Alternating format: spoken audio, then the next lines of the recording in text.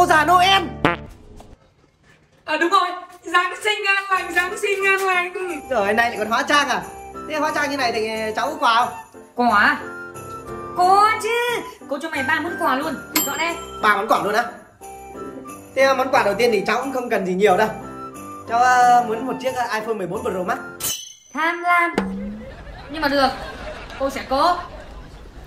Tang tang có luôn à? Có luôn chứ.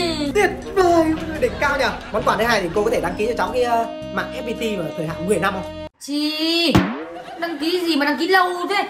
Mày dùng không biết chán à? Chán làm sao để mà chán? Cái mạng FPT là tốc độ cao nhá. Đường truyền ổn định, không giật lag Mà lại có cái tính năng ultra fast đặc biệt dành riêng cho game thủ nhá. Giảm giật lag này, giảm binh khi chơi game này.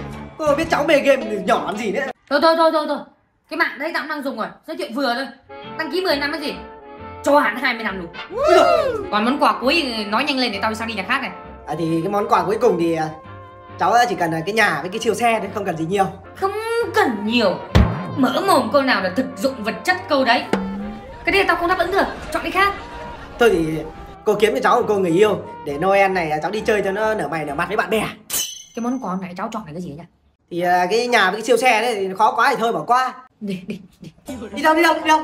Đi lấy nhà lấy xe Chứ còn xấu như mày thì Đi lấy nhà lấy xe nhanh